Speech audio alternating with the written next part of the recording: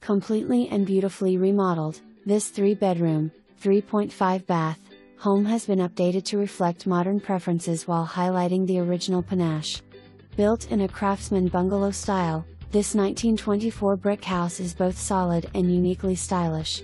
You will notice the tasteful exterior color choices and professional landscaping.